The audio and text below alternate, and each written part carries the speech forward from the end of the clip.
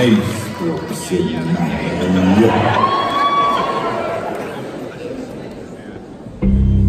Latvijas dabas aizsardzības biedrībai veltītā dziesmā Vārdu Karu!